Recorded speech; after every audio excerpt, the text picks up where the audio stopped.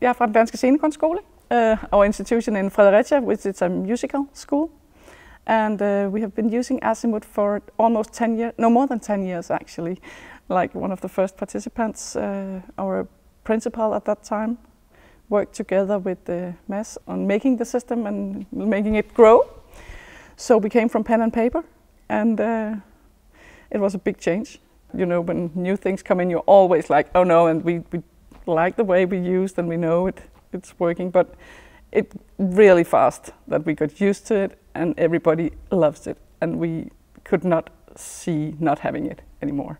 I'm making schedules for the students, making um, reservations on rooms and also making the time schedule for their day. The way ASIMUT changed my work was that I didn't have to write everything down every week.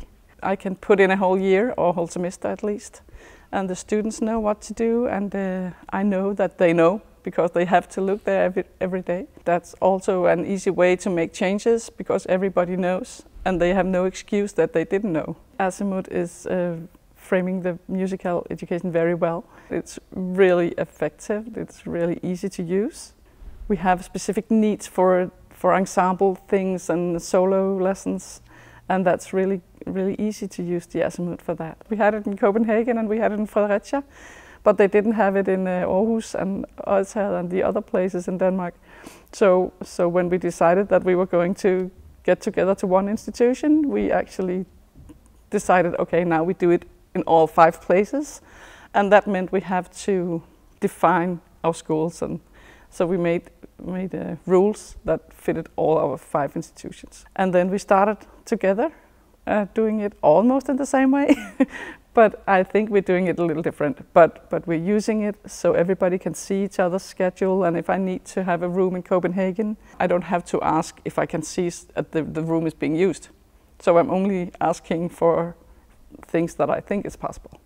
And in that way, I think it saves us a lot of time.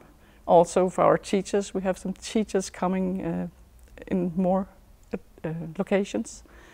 And I can see, okay, this uh, piano player, he's in Aarhus Wednesday and Thursday. I can actually ask him on Friday because I know he's not there. It's the first time I'm in a, uh, ASIMUT uh, get together because I wasn't able to be in Barcelona. And before that, we didn't really think it was something we should do. But now I really feel that I should do that every year. Seeing what it can also be is actually inspiring. I think we, we are really happy about the system. We really like using it and we are never not satisfied. We, always, we are always happy and, and we always get good answers when we have problems, I guess.